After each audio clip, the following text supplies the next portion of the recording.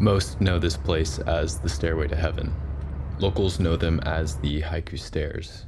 Originally, it was known as the Haiku Ladder because it was simply too vertical to be considered stairs.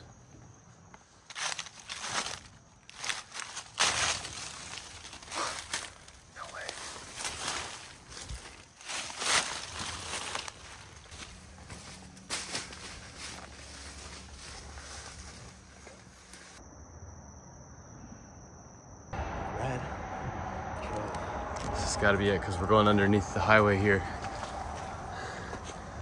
As soon as we get under the highway, the stairs should start. Here's a broken fence. This is it.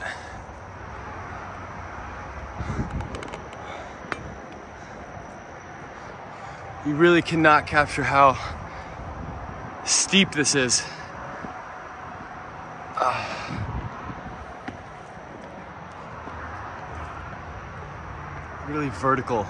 In the early 1940s, the Haiku Valley was full of huge lava rocks, twisted hau trees, and dense vegetation. But beyond clearing this, the largest problem facing the construction of the radio station and subsequently these stairs was finding a way to send men to the top of the cliffs. Because for most of these cliffs, they rise completely vertical. Light's starting to come out. I'm not sure about the sunrise this morning because of how cloudy it is. Oh, but man, this view. I think Josh is a little tired. I think he's sick. He's coughing all night, so he's a little behind, but these only go one way, so he'll catch up. We're following the path of Bill Adams and Louis Otto, who, through sheer determination and courage, using one coil of rope, a sledgehammer, and a bundle of steel pins, made it to the top of these cliffs first.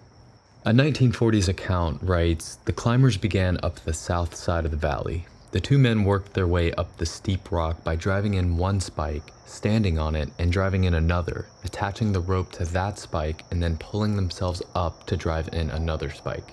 It took Adams and Otto 21 days before they reached the top.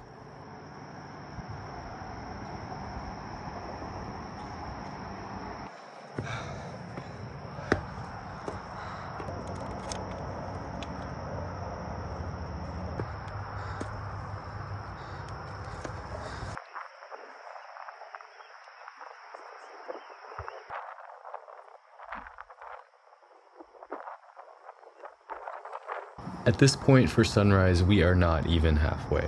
The total amount of steps is around 4,000 leading up to the radio tower.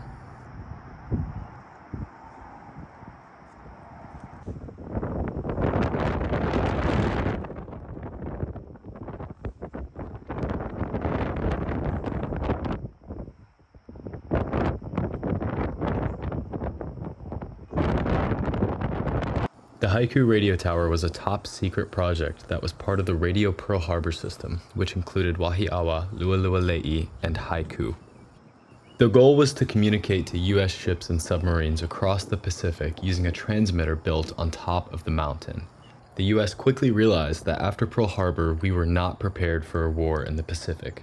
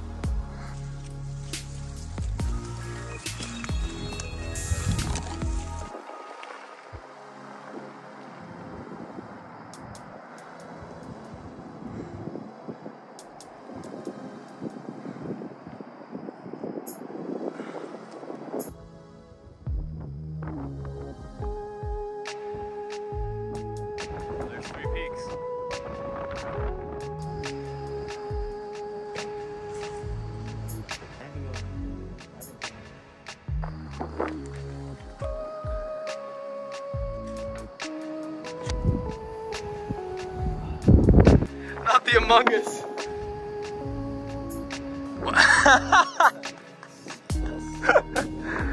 the Cebu.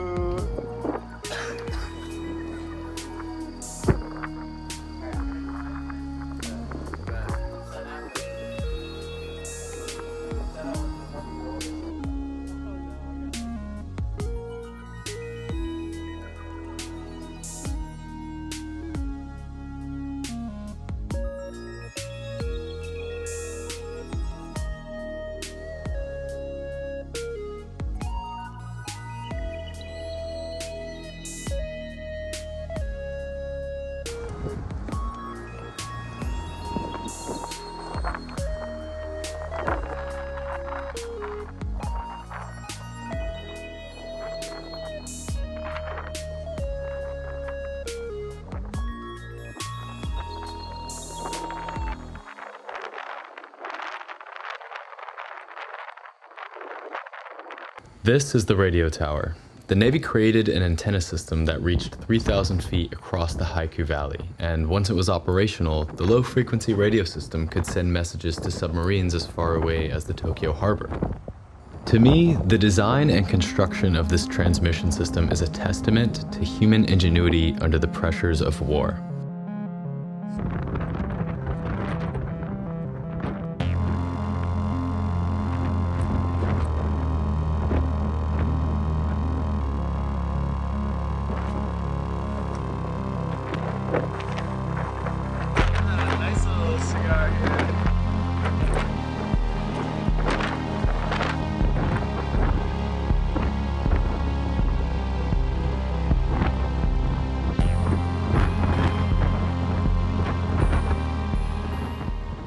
Thanks for watching, guys. It's no secret that this spot is in Hawaii, and we had an incredible time exploring this incredible state. If you want to see more photography from this trip or more Urbex content, be sure to hit us up on Instagram at ghosts.versus.bros and subscribe to the channel. Thanks again, guys. See you next time.